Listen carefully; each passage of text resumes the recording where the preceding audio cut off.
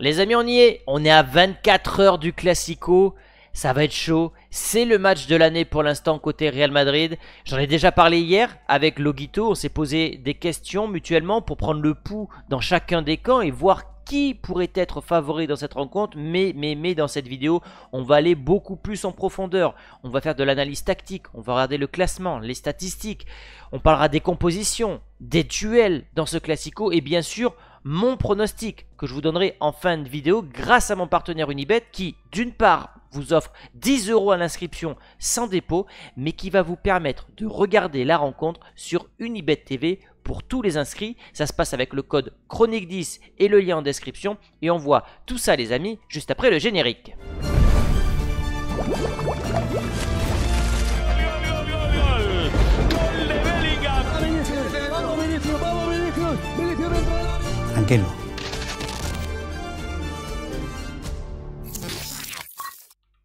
Avec la presse espagnole qui est déjà dans le match avec la BMW face au Barça titre marca, Mbappé, Vinicius qui est au milieu et ce n'est pas rien puisque aujourd'hui est-ce qu'on peut parler du Real de Vinicius? Je pense que oui. Et Bellingham à droite, pas de Rodrigo, vous allez vite comprendre pourquoi. Au niveau du calendrier pour l'instant deux victoires, ça n'a pas été facile du côté de Vigo, ça a été compliqué pendant une heure de jeu contre Dortmund et pour l'instant il n'y a que des victoires et j'espère qu'on va continuer cette marche euh, positive puisque, on le verra après, mais le Real a l'occasion de battre ou d'égaler plutôt le record d'invincibilité en Liga ce week-end, un record qui appartient au Barça. Donc si on peut leur piquer un record en les battant, ça serait vraiment la journée parfaite. Je ferme cette fenêtre, merci. Au niveau du classement, on a surtout l'occasion de, de, recoller et surtout de passer leader. Puisqu'en cas de victoire, on aurait le même nombre de points que le Barça. Mais vous connaissez la, la règle en Liga, quand il y a égalité de points, ce sont les confrontations directes qui font la différence. Et donc si le Real a battu le Barça, le Real passera devant les Catalans. Au niveau des convoqués, puisqu'il y avait la conférence de presse de Carlo Ancelotti, pas grand chose à, conserver finalement de cette conférence. Il a loué euh, euh, les, prestations de Xavi l'an passé. Il a un peu noyé le poisson quant à la défense très haute du Barça. On le verra, ça fait partie d'une des clés de la rencontre. Mais Brahim fait son retour. Pas de Rodrigo, blessé, hein, il est forfait pour le Classico. Thibaut Courtois, pareil, ça fait quand même beaucoup de blessures cette saison. On va y revenir notamment avec le Capintus. Pour l'instant, pas de Courtois, pas de Rodrigo, pas de Carvaral, pas d'Alaba, beaucoup de blessures et on commence côté Madrid, d'après Relevo, à douter de la méthode Pintus en disant que bah, les, décisions prises ont causé euh, c'était quoi la phrase Excusez-moi? Le nombre de blessures et les décisions prises par Pintus ont causé une remise en question de la part des joueurs. Euh, certains disent même que c'est un mythe et que finalement les, euh, les victoires passées qui sont dues à Pintus sont en réalité dues au grand professionnalisme des joueurs qui ont un préparateur physique personnel chez eux. Voilà ce, que, ce que dit l'article de Relevo. À suivre, peut-être que j'en ferai une vidéo la semaine prochaine, mais c'est vrai qu'il y a quand même, je trouve, depuis le début de la saison, hormis les entorses, euh, hormis les chocs, les ligaments, il y a quand même beaucoup de blessures musculaires, euh, notamment à la cuisse. Donc euh, à suivre côté Real. Vinicius pardon, a été élu joueur de la semaine en Champions League, c'est parfait parce qu'il arrive dans une bonne dynamique. Ce triplé, le ballon d'or lundi, sauf séisme, et Perez, Vinicius, Bellingham, Valverde, Lunin et Ancelotti seront présents à la cérémonie et on parle même aussi de la présence d'un certain Bappé. Donc grosse délégation madrilène à Paris pour la remise du Ballon d'Or. On, fera évidemment une vidéo le lundi soir si Vinicius gagne ce trophée. Mbappé, Mbappé, qui est dans euh, un début de saison un peu mouvementé, lui qui vient de ça y est de gagner son procès contre le Paris Saint-Germain, un poids en moins pour lui, Nasser et le PSG vont devoir lui verser 55 millions d'euros. Ça reste une bonne nouvelle pour lui et comme je le dis à chaque fois, quand tu es bien mentalement, physiquement ça se ressent et là c'est quand même un poids en moins. Alors il reste son histoire à Stockholm qui n'a pas été euh, réglée, mais vous le voyez, contre le Barça, c'est un joueur qui fonctionne très bien. 4 matchs, 6 buts, dont un hat-trick. Je pense honnêtement que s'il veut vraiment démarrer euh, son aventure avec Madrid, rien de mieux que de claquer 1, 2, 3 buts face au Barça et d'offrir la victoire au club merengue. Si c'est le cas, les supporters vont lui, foutre la paix pendant quelques semaines et lui va gagner en confiance. Le triplé euh, mercredi dernier, c'était Vinicius. À Mbappé aussi, de frapper fort. Et quoi de mieux qu'un classico avec un record à la clé pour marquer les esprits? Je pense que c'est son objectif prioritaire. Bellingham, Bellingham aussi, euh, bah, doit marquer ou doit euh, être présent statistiquement, lui qui est plutôt discret, mais contre le Barça, vous le voyez la saison dernière, 3 matchs, 3 victoires, 3 buts, une passe D, 2 buts gagnants à la dernière minute de jeu, un doublé, une finale gagnée, une domination. Et c'est vrai que Bellingham l'an passé avait ce rôle de héros qu'il n'a plus cette année, il doit avaler des couleuvres, jouer plus bas, accepter le fait que les rôles sont distribués notamment en attaque avec l'arrivée d'Mbappé Maintenant, voilà, euh, d'après ce que j'ai lu dans la presse espagnole, on va revenir à un 4K2 où il va retrouver son poste de numéro 10 et donc se projeter dans la surface. Il a un très bon jeu de tête et je pense qu'on va retrouver le meilleur Jude Bellingham et quoi de mieux pour lui aussi que de remarquer face à sa proie préférée qui est le FC Barcelone. Le Barça maintenant, on va faire une petite page sur le Barça quand même parce que on va présenter l'adversaire du jour. 9 euh, victoires en 10 matchs, une seule défaite. Moi ce qui me marque c'est vraiment les 33 buts marqués. Voilà, c'est quand même 12 de plus que le Real Madrid. 10 buts encaissés. Donc le Real est quasiment la meilleure défense avec l'Atlético. Et comme je l'ai dit, seulement 3 points d'écart. Donc finalement, tu as l'impression que le Barça déroule en Liga, ce qui est le cas. Tu as l'impression que le Real est très mauvais, mais il n'y a que 3 points d'écart. Et ce week-end, à 10 journées, ben, le Real peut être leader finalement. Donc comme quoi cette Liga, d'une part, est très faible. Et deuxièmement, le Real a peut-être le passé le plus dur et en espérant maintenant que ce match contre Dortmund a été un déclic pour la suite de la saison. Au niveau du calendrier du Barça, moi ce qui me choque, bon c'est pas la défaite à Osasuna parce que c'est une pelouse qui est compliquée, parce qu'en plus ils avaient une équipe C, mais c'est le nombre de buts qu'ils marquent par match sous flic. Contrairement à Xavi, on a un Barça qui continue d'attaquer enfin, non-stop. Non-stop, le Barça attaque, joue très haut, très agressif. Un gegenpress, bah, ça, ça vient de l'Allemagne, qui est effectué. 4 buts contre le Bayern, 5 contre Séville, 3 contre Alaves, 5 contre les Young Boys, ça fait beaucoup. Ça fait beaucoup. Euh, il y a de quoi, être inquiet, surtout quand on voit la première mi-temps du Real Madrid. Maintenant, ça c'est si on regarde le verre à moitié vide. Si on regarde le verre à moitié plein, maintenant on se rend compte que ce Real a su répondre en claquant 5 buts en une mi-temps à Dortmund. J'attends une prestation à la hauteur de la deuxième mi-temps contre les Allemands. Les trois jours à surveiller, ça sera des poncifs. Sans surprise, Yamal, parce que depuis un an, bah, c'est quand même, je trouve, l'élément qui a redoré le blason du Barça. Lewandowski, parce que le Polonais en est à 15 buts cette saison, toute compétition confondue. Il est largement Pichichi de cette Liga. C'était d'ailleurs mon pronostic en début de, début saison, parce qu'il est beaucoup plus servi que sous Xavi. On a une équipe qui est beaucoup plus animé, dynamique, ce qui fait qu'il est mieux servi en caviar, en ballon. Et puis Rafinha, puisque Rafinha, à l'instar de Vinicius, bah, il a inscrit un triplé cette semaine contre le Bayern, c'est pas rien. 13 matchs, 9 buts, 8 passes D, c'est assez monstrueux, donc méfiance, surtout que la défense du Real pose question. 43 buts en 13 matchs, c'est une machine à destruction. Bon, c'est un média barcelonais, mais quand même 43 buts en 13 matchs, c'est quasiment du 4 buts par match. Ce n'est pas rien. Et il va falloir que côté Real, on soit très agressif, qu'on soit concentré, parce que ce Barça vient dans l'idée de nous détruire. Au niveau euh, des classements des buteurs, vous le voyez, 10 matchs, 12 buts pour Lewandowski. Il a 6 buts de plus, donc vraiment pour l'instant il fait, il fait seul course en tête pour le trophée de Pichichi. Mbappé largement derrière. Et au niveau des passeurs décisifs, pareil, c'est le Barça qui est largement devant avec Rafinha et Yamal. Donc vraiment, sur le secteur offensif, le Barça a de quoi nous faire mal. Maintenant, ils ont des failles, notamment, on va le voir défensivement, ils jouent très haut. Ils ont joué avec une défense au milieu de terrain. Est-ce que Hansi Flick va opter pour une euh, défense aussi haute, voire suicidaire contre le Real Madrid, sachant que tu peux avoir du Vinicius, du Bappé qui prennent la profondeur J'ai du mal à le croire. Et si ce Barça joue moins haut, il fera moins mal au Real Madrid. C'est logique.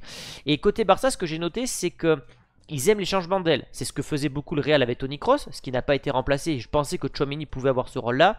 En fait, ils attirent avec euh, un jeu à ras de terre, des petites passes un peu en mode tiki-taka d'un côté, pour attirer, vous le voyez, 1, 2, 3, 4, 5, 6 joueurs du Bayern. Et là, il y a un joueur qui lorgne sur la ligne de touche opposée. On fait une transversale pour aérer le jeu et ensuite accélérer en 2-3 passes pour aller directement au but. Voilà un peu la méthode Flick, c'est résumé très brièvement, mais beaucoup d'agressivité et on joue dans le camp opposé. Hâte de voir comment le Real va répondre.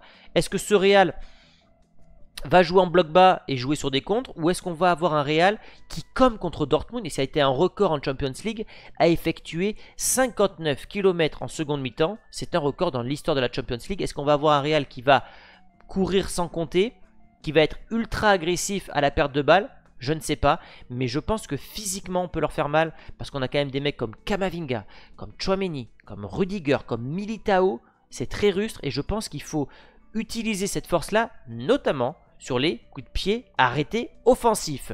Les duels, il y aura des duels, obligatoirement. Le premier duel que je vois, euh, le duel direct, Vinicius Koundé. Avant, on avait du Arajo, Koundé. Comment Koundé va répondre face à Vinicius? Vinicius qui, ça y est, euh, a mis la misère euh, ce, mercredi aux défenseurs de Dortmund. Il avait fait la misère à Kimmich. J'ai l'impression qu'on disait souvent que Arajo c'était la kryptonite de, de Vinicius. Bon, on s'est aperçu que lors de certains classicos, il prenait largement le dessus. D'ailleurs, le Real est sur 4 classicos consécutifs avec des victoires. Alors le Barça à l'occasion de mettre fin, euh, ils ont mis fin d'ailleurs à la série contre le Bayern de 6 défaites consécutives, ils peuvent, ils peuvent mettre fin à 4 défaites consécutives contre le Real. Ça c'est le premier duel. Le deuxième, bah, c'est dans l'autre sens. Rafinha contre Lucas Vasquez. Quand on voit la forme de Rafinha et quand on voit la capacité à défendre de façon répétée euh, de Lucas Vasquez, on est en droit de se poser des questions également. Ça va jouer. Et pareil pour Mendy contre Yamal. Quand je vois, et je ne l'ai pas mis là, comment Mendy a défendu contre Dortmund, j'ai le droit d'être inquiet, sachant que c'est quand même normalement sa force, de voir comment il va réagir contre Yamal qui est imprévisible. Donc voilà, il y a quand même beaucoup de duels assez incertains. Et un duel que j'ai envie de voir, c'est Kamavinga ou Chouameni contre Fermin. Fermin, on n'en parle pas beaucoup. Je trouve que c'est un élément assez dangereux euh, côté Barça. C'est notamment lui qui fait la passe D euh, au bout d'une minute à Rafinha contre le Bayern Munich. C'est un peu le numéro 10 de cette équipe-là. Et euh, ouais, il y, a, plein de duels, j'en ai, sélectionné. Et puis le duel à distance, c'est un duel évidemment entre les deux Brésiliens. Chacun a mis un triplé cette semaine en Ligue des Champions. Qui sera le MVP de, ce classico? Ben, Vous me direz dans les commentaires. Donc au niveau de la composition du Barça, on est sur un 4-2-3-1 avec Pedri euh, et Casado. Casado qui est très fort, hein, c'est encore une, recrue de la Masia. Maintenant, on sait qu'il y a De Jong qui revient. Il y a Olmo qui revient également. Voilà, ça c'est pour le milieu de terrain. L'attaque, j'en ai déjà parlé. Moi, ce qui me pose question, et ça c'est une bonne nouvelle pour le Real, c'est cette défense. Que vaut cette défense? Moi, sur le papier, je ne suis pas impressionné. Parce que Baldé, c'est un latéral très offensif. Martinez Koubarsi, je pense qu'il y a mieux, même si on l'a vu, euh, le fait de jouer haut, ça leur convient très bien. Et il y a Koundé ou Fort. Mais ça sera Koundé. Alors, on l'a vu, hein, ils prennent beaucoup de buts, mais c'est parce qu'ils se découvrent beaucoup. Moi, je pense qu'on a l'opportunité de faire mal sur coup de pied arrêté et dans la profondeur avec, euh, nos joueurs. J'attends d'Mbappé qui prenne la profondeur, chose qu'il ne fait pas depuis le début de la saison, à mon grand désarroi. Mais oui, ce, 11 du Barça qui s'est limite sur papier, comme disait le Guito hier, affaibli avec la perte de Cancelo, la perte de Joao Félix, la perte de Gundogan, mais pourtant ils ont de meilleurs résultats parce qu'ils dégagent une force collective qui est quand même honnêtement supérieure à celle du Real depuis le début de la saison. Côté Real Madrid, le 11 que je vois, je peux me tromper, mais c'est le 11 que je vois. Lounine va donc remplacer Courtois, logique. On n'a pas perdu au change, même si je préfère quand même Thibaut Courtois parce que l'expérience et puis c'est plutôt la, la place qu'il prend dans une cage qui impressionne les attaquants lors des duels. Défense à 4, Mendy, Rudiger, Militao, Lucas. Jusque-là, pas de surprise. Retour des quatre jeunes au milieu de terrain, les quatre fantastiques, comme j'aime les appeler. Chouameni en sentinelle, qui pourrait d'ailleurs faire office d'un troisième défenseur central en phase défensive.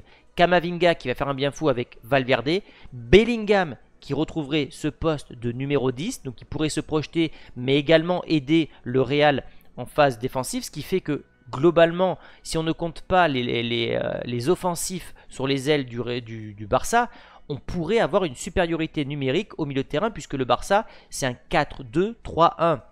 Mais je trouve que Yamal et Rafinha c'est plus des attaquants que des milieux qui vont récupérer le ballon. Donc on peut avoir une, une supériorité de ce côté-là. De toute façon le milieu de terrain ça sera la clé. Si le Real arrive à répondre au Barça, on arrivera à gagner cette rencontre. Et donc une attaque à deux. Vu que Rodrigo est blessé, ça va retirer finalement des soucis à Carlo Ancelotti. Bappé, Vinicius, sachant que derrière, tu as du Hendrick, tu as du Brahim Diaz, tu as du Modric, tu as du Arda Güler. Bref, il y a de quoi faire tourner en seconde mi-temps si certains joueurs sont fatigués. Au niveau des confrontations précédentes, vous le voyez, hormis le match amical qui ne compte pas l'été, la défaite 2-1, chaque année on perd contre le Barça, dans les confrontations euh, en Liga, je dis bien en Liga, on est sur 4 victoires consécutives, puisqu'il y avait eu des défaites en... Ah non, non, c'est victoire en Liga 3-2. Voilà, ça c'était la dernière confrontation qui est juste là. Il y a... Euh, ben, c'est 4 matchs, 4 victoires les derniers. Je dis n'importe quoi. 13 buts marqués, 4 encaissés. Mais je suis perturbé par le 3-0. Mais c'était en fait un match amical l'été dernier. Donc en fait, il y a 4-0 au Real Madrid sous Benzema. 2-1, c'était Jude Bellingham qui avait marqué le but. 4-1 pour le Real, c'était en, Super Coupe euh, d'Espagne, je crois.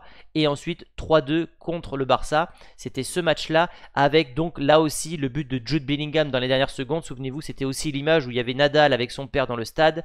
Et euh, on les voit fêter le but à la dernière minute, sachant que le Real était mené 2-1 à cause d'un but de Firmin et que c'est Lucas Vasquez et Bellingham qui ont offert la victoire au Real Madrid.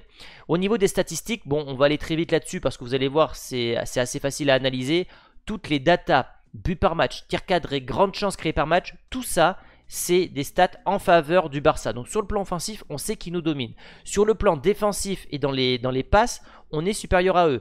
Plus de précision dans les passes, plus de longues balles jouées. C'est important quand on sait que le Barça peut laisser des espaces dans leur dos. Au niveau de la défense, pareil, meilleure défense du Barça. Donc on va avoir un Barça qui est une armada offensive, qui va se confronter à une très très bonne défense, même si je trouve qu'on encaisse trop de buts cette saison encore, mais si je dois caricaturer ces statistiques, voilà ce que ça donne. On passe à mes pronostics grâce à mon partenaire Unibet qui vous offre 10 euros, voilà, 10 euros sans dépôt, mais en plus de ça, si vous êtes inscrit, vous pouvez regarder le match sur Unibet TV, et en plus de ça, vous avez 100 euros euh, qui vous sont remboursés sous forme de free bet. Bien sûr, vous devez parier avec responsabilité.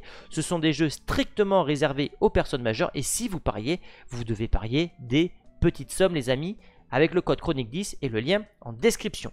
Les codes de la rencontre, vous le voyez, ce Real est favori, coté à 2,02.